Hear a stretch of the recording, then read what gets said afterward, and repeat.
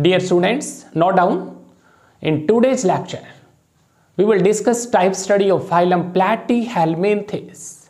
Dear students, type study of phylum Platyhelminthes that is liver fluke, fasciola hepatica.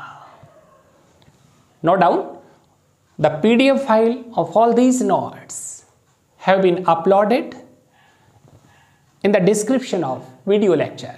Please note down.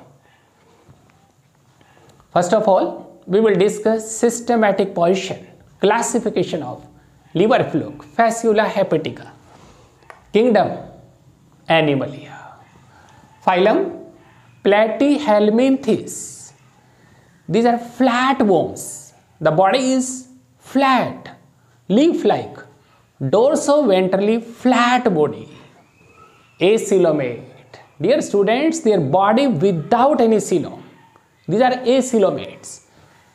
Parenchyma, not down each and every point. Parenchyma, it is a special type of connective tissue.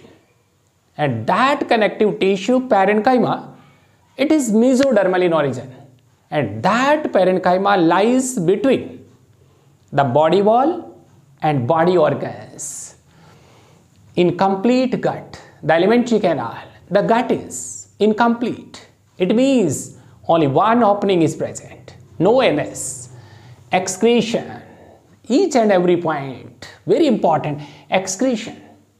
In these platyhelminths, flatworms, flukes, liver fluke, the excretion by special type of cells in which bundle of cilia. And due to presence of bundle of cilia which present in their cavity lumen appears as a flame these are flame cells. These are solenocytes. These are protonephridia. Dear students, these are flatworms, body is dorso-ventrally flat. Coelom absent. So these are acoelomates. In their body, special type of connective tissue that is parenchyma. The gut is incomplete and excretion by special type of flame cells, solenocytes, protonephridia.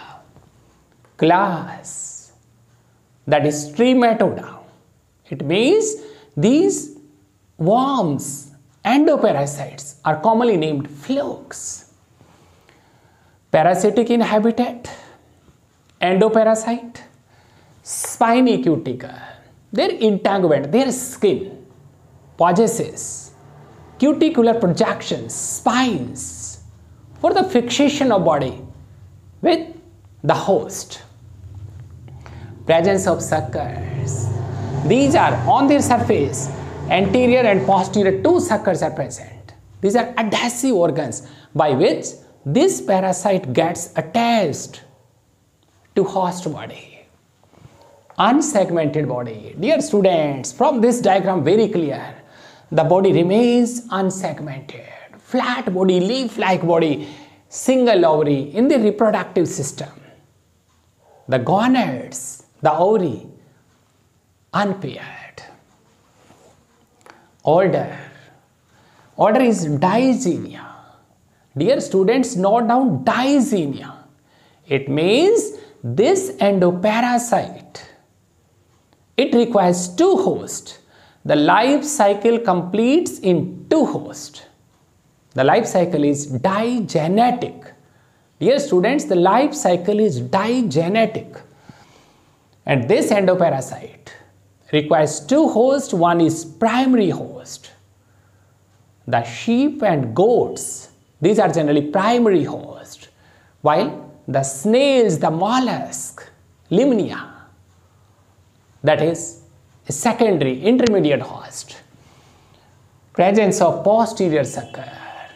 Not down, this one is, this is the posterior sucker. Strictly it is meant for fixation, attachment. It is adhesive organ by which this parasite gets attached to host surface. Single excretory pore on this posterior region. Single excretory pore no NS, not down. This is excretory pore. It is nephridiopore. family. And family is fasciolidae. Dear students, fasciolidae. It means spinules on integument. On their outer surface, on their body wall, thus integument possesses the projections, spinules, genus. It is fasciola, the conical head lobe. From this diagram, very clear, this anterior part having this conical projection, it is fasciola. Due to presence of this apical head lobe, oral lobe, or it is this conical projection, this head lobe, it is cephalic Dear student, it is present on anterior part. This one is apical cone. The species hepatica, fasciola hepatica. Fasciola is named due to presence of on this anterior region a conical projection and it is species it is hepatica because it is a parasite of liver of vertebrate host. Now we will discuss some important characteristic features. First of all habitat. The animal is the fasciola hepatica is cosmopolitan. As the animal is found everywhere. But it is more common in wet areas. Because in these wet conditions it's secondary its intermediate host. That is a mollusk that is a snail. Like Limnaea or planorbis which is commonly found in wet conditions. Adult liver fluke dear students its adult form. And that adult form is coelozoic endoparasite. Coelozoic endoparasite. It means the adult liver fluke is found in large sized coelomic ducts like bile ducts of liver commonly in the liver of sheep goats some other animals like horse, like dogs, like monkeys, man, elephant also. Habits. Habits. Feeding. The fasciola, the liver flocus. It is holozoic in mode of nutrition. Its mode of feeding, that is complete animal-like. It feeds upon the blood, the lymph, the bile, and dear students, the epithelial cells of bile ducts. Digestion is digestion takes place in the gut means outside the cell. It is intercellular.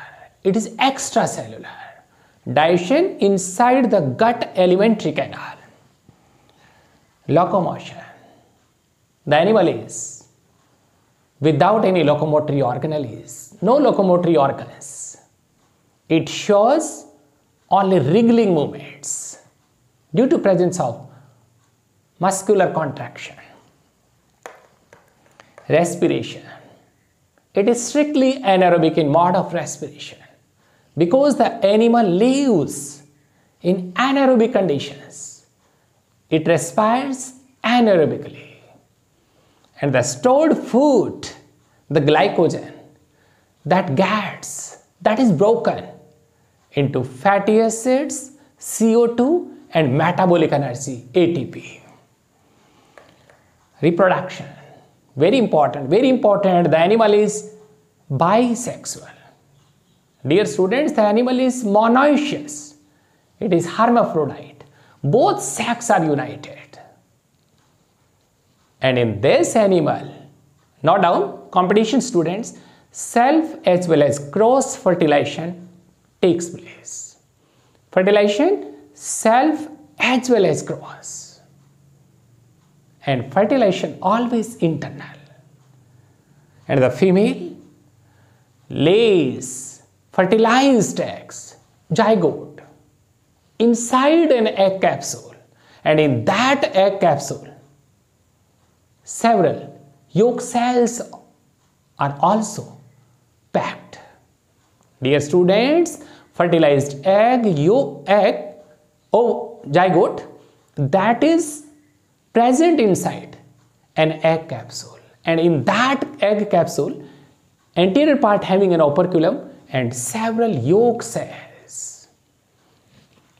The egg is ectolecithal because the yolk is not present in the cytoplasm, in the ooplasm of egg. The yolk is present outside the egg.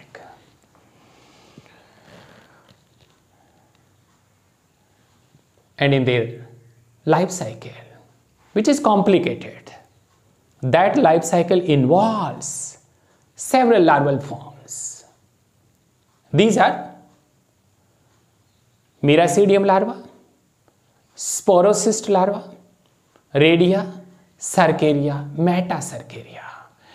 In its life history, five larval stages Miracidium, Sporocyst, Redia, Cercaria, Metacercaria complicated larval stages are present.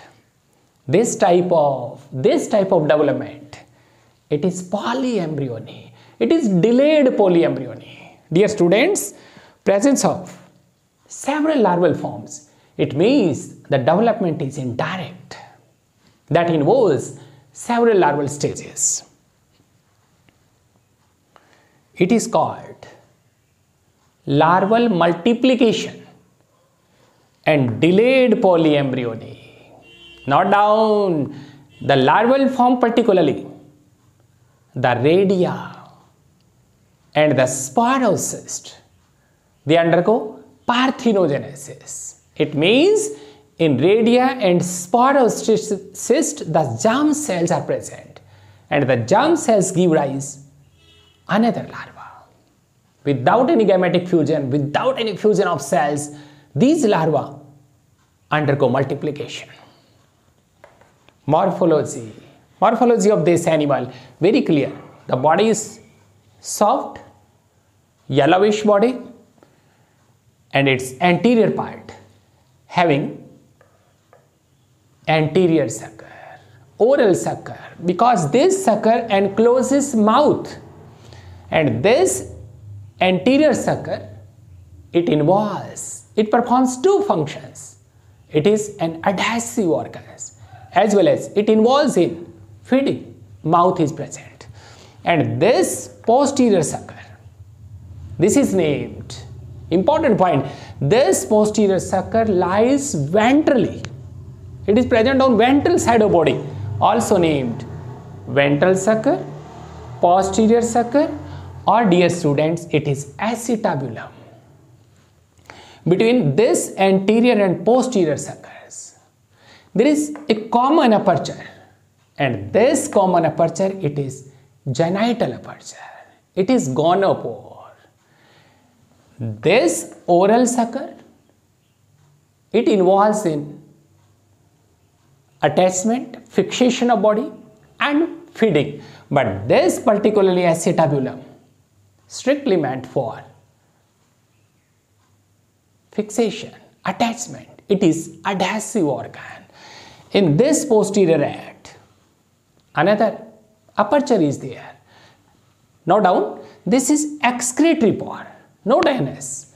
Dear students, this is nephridiopore. This is all about general introduction of liver fluke, fasciola hepatica. In tomorrow's lecture, we will discuss its systems, digestive system, respiratory system.